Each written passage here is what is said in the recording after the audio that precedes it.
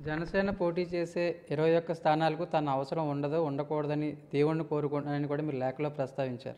అంటే ఆ- ఇరవై ఒక్క స్థానాల్లో మాత్రమే పోటీ చేస్తుందని మీరు ఆ పార్టీ వైపు క్లో- అంటే ఇరవై సీట్ల కోసం నేను ఎందుకు కష్టపడాలి సార్? మీరు నూట డెబ్బై ఐదు పోటీ చేయండి నేను శరీరం దాచుకోకుండా కష్టపడతాను మీకోసం. నూట డెబ్బై ఐదు పోటీ చేయండి. లేదా ముఖ్యమంత్రి షేరింగ్ అడగండి వారిని చంద్రబాబు నాయుడు గారిని. డెబ్బై ఎనభై సీట్లు ఇమ్మని అడగండి. మీకు మీకు కోసం చేస్తాను. ముందు రెండు సంవత్సరాలు మీరు తీసుకోండి ముఖ్యమంత్రి. తర్వాత మూడు సంవత్సరాల వరకు ఇవ్వండి. మాట్లాడండి అని చెప్పాను సార్. రెండోదండి వచ్చిన మధ్యవర్తి చెప్పాను సార్. అయ్యా చంద్రబాబు నాయుడు గారు జైలుకి వెళ్ళిన తర్వాత వారి గ్రాఫ్ పూర్తిగా జీరో పడిపోయింది.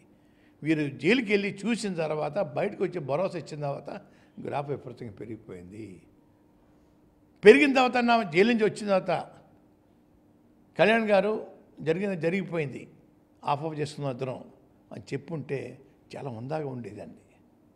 చంద్రబాబు నాయుడు ఆ పని చేయలేదండి. కనీసం కళ్యాణ్ గారు అన్న అడిగి ఉండాలా? అది చేయలేసేవారు.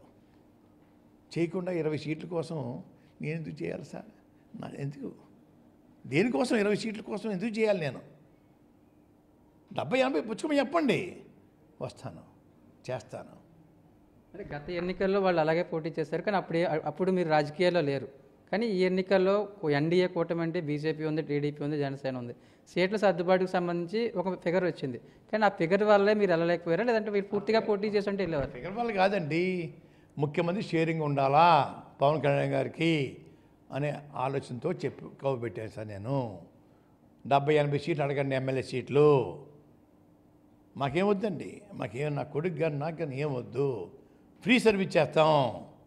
పార్టీని బలోపేతం చేస్తాను. ఫలితం ఆశించిన సేవ మీ చేత చేద్దాం అనుకున్నాను నేను అని కూడా చెక్కువ పెట్టాను సార్. ఆయన ఇరవైకిని ఇప్పుడు కూటమని చెప్పేసి పదికి ఇరవైకి వచ్చి వాళ్ళు ఒప్పందాలు చేసేసుకుని మమ్మల్ని మమ్మల్ని రోడ్డు లాగటం అండి? పనేటి?